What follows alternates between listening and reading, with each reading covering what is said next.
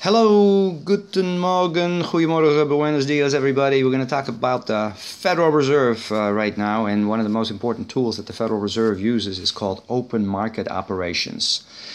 Open market operations is essentially the buying and selling of securities by the Fed in order to change the money supply, most of the time, increase the money supply. Well, how is the Fed able to buy securities? And how do these securities even get out there with the public? So let's start from the beginning. First of all, we have to realize that Treasury, they act on behalf of Congress.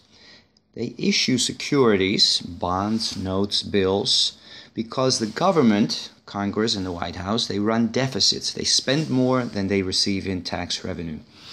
So they sell or issue securities to the public. This is the public here and then the public, of course, gives their money to Congress, uh, to Treasury, Congress, and White House. Uh, so it's essentially uh, lending by the public.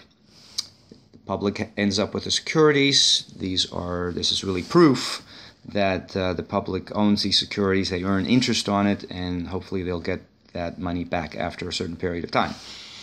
So here we are. We, and by the way, this is this is also uh, equivalent to the, the, nation's national debt.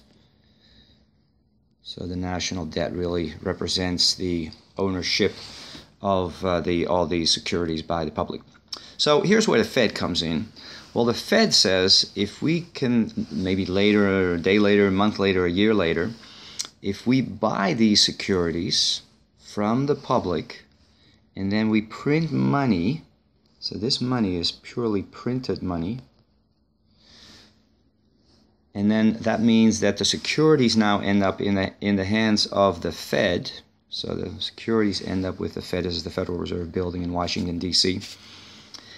And money that was just newly printed now ends up in the hands of the public. That increases the money supply. The Fed also could sell securities, then these arrows would go the opposite way and then that would decrease the money supply.